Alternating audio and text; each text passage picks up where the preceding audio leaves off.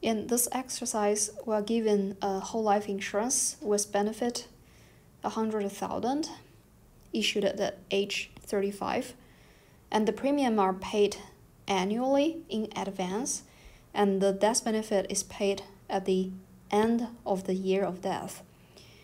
In addition, we know the interest, the initial expense is 40% of the premium plus a fixed expense, $125, and the renewal expense is 5% of the gross premium plus fixed amount, $40.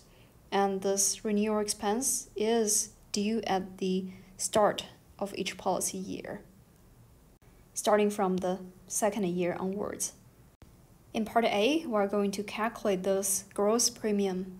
We denote as PG. And in order to calculate the PG, we're going to set the gross future loss at time zero to be zero. The expected present value of the premium is PG times the expected present value of annuity due. For the benefit part, the expected present value is 100,000 times expected present value of whole life insurance. Now for the expenses part, the initial expenses is 40% of the gross premium and fixed expenses 125. And afterwards, each year there is 5% of the premium plus $40. Now, since we are using the standard select survival model, we're using the table. So we decompose this 40% premium into two parts, 5% plus 35%. You can think it as this person pay 5% premium for life, and on top of that, 35% premium as initial expenses. Similarly, we also decompose this $125 into 40 plus 85. So this person pays $40 for life, and on top of that, 85 for the first year. Using this, the expected present value for the expenses part is 5% premium for life plus 35% at time zero and $40 for life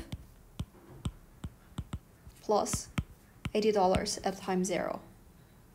Establishing the equation, the expected present value for the premium is the summation of life insurance benefit plus all the expenses.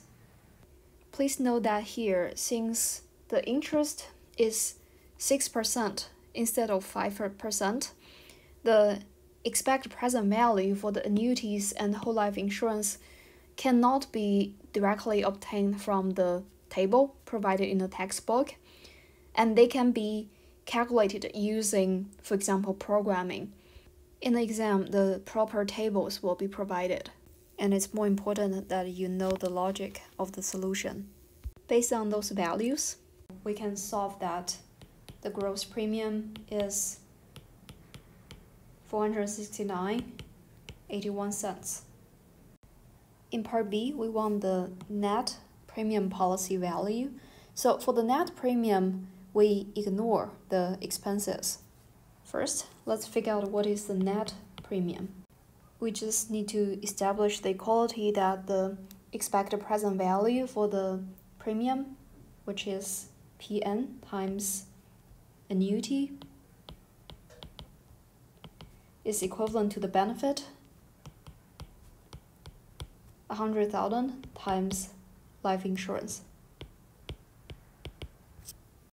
Based on this, we can solve that PN is 391 and 22 cents. Now let's look at the net premium policy value at time 1. It is the expected present value of benefit outgo, subtract the expected present value of income, premium income. At time 1, this person selected one year ago at age 35 become age 36. Now, if we stand at this point, the expected present value for life insurance benefit is 100,000 times now this person is age 36. As for the premium income, it is PN times annuity due at age 36, selected one year ago.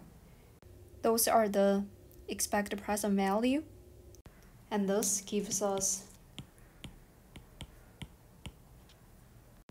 in part C, we need the gross premium policy value at time 1. So compared with part B, first, our premium itself will be different. And also, when we consider about the policy value, we also need to take into account the expenses.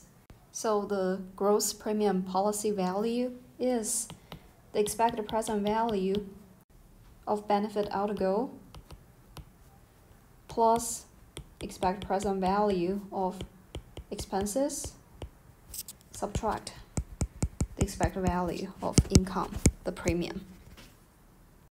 So the expected present value of life insurance benefit is 100,000 times at time 1 this person is age 36 now for the expenses at time 1 we don't have initial expenses anymore. So we just have each year 5% gross premium and $40. So if we look at the expected present value, it is 5% of the gross premium. This one, we got it in part A, times annuity due plus $40 per year. So this is the expenses part. Now we subtract the income part, the premium part. It is gross premium times A 35 plus 1. And our final answer is and in part D, we need to explain why the gross premium policy value is less than the net premium policy value. Those are the policy values we got. Recall how we calculate those values. So for the net premium policy value, it is the expected present value of benefit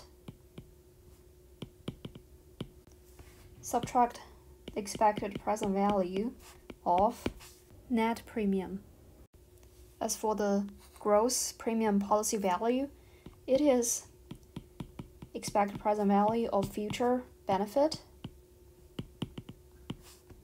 plus expected present value of future expenses subtract the expected present value of gross premium.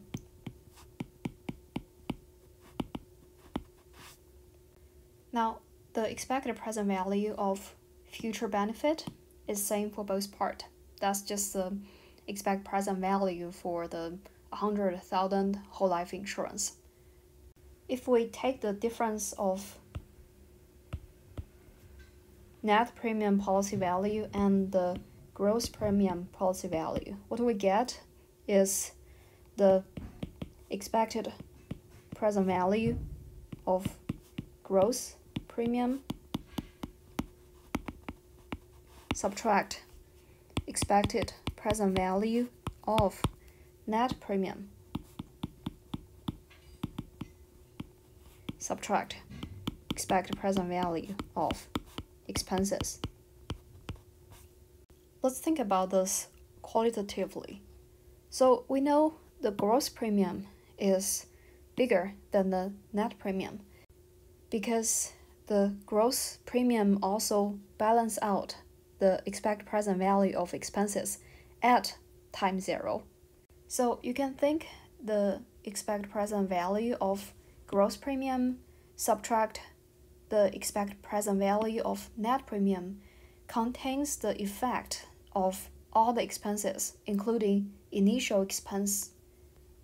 Now, when we consider the expected present value of expenses at time 1, it does not contain the initial expenses, and that's why the difference between the gross premium and net premium, their expected present value, is going to be bigger than the expected present value of expenses starting from time 1, and this difference is bigger than 0. In this exercise, we need to calculate the gross premium policy value at time 1, but assuming a different interest. Everything else are the same. That means here, our premium is same as the gross premium before, so we use the premium from part A. And when we calculate the policy value at time 1, the formula is the same as part C. The major difference though is that now the expect present value for those whole life insurance or annuity will be different based on different interest. Again, those expected present value needs to be calculated using programming and it's more important you follow the logic. And this is the result.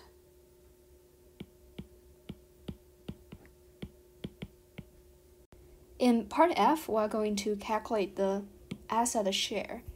So the asset share is based on the amount of money the insurance company actually has, and then divided by the number of people who are still alive. Now, suppose in this portfolio we have n policyholders to start with.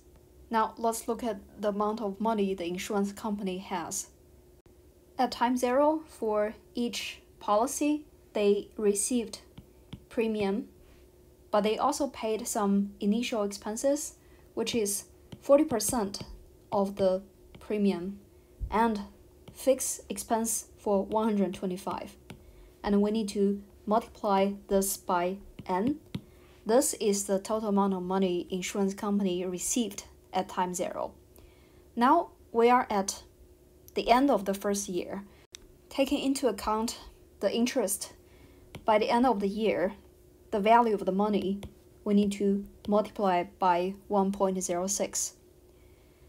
But at the end of the first year, the insurance company also need to pay life insurance for those people who died.